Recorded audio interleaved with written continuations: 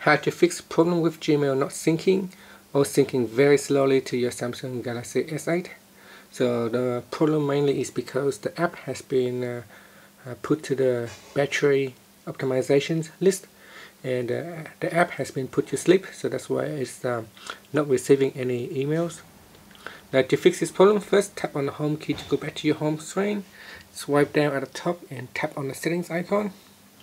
In here tap on device maintenance then tap on battery and from here tap on battery usage then tap on the three dots so the menu icons and then from the pop-up menu tap on optimize battery usage.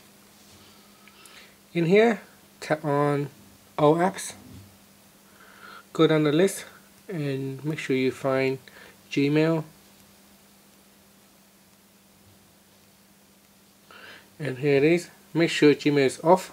So if you see the blue color switch this means Gmail has been added to the battery optimizations. So we want to slide the switch to the left to turn it off. And once it is off Gmail is now not part of the optimized battery feature.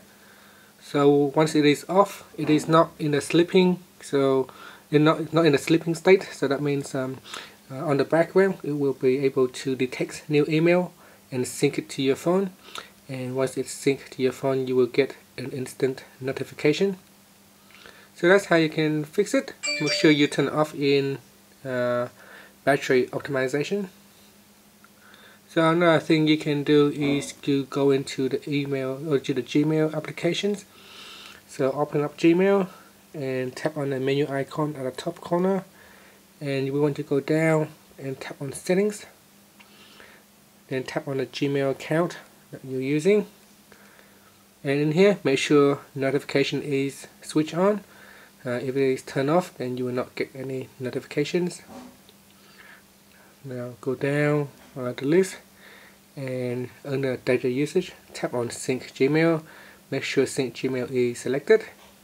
If it's uh, turned off then you may not get uh, new emails syncing from the server.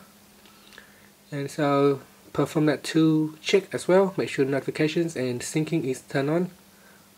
And hopefully that will fix your problems uh, with uh, Gmail not syncing to your Samsung Galaxy S8 thank you for watching this video. Please subscribe to my channel for more videos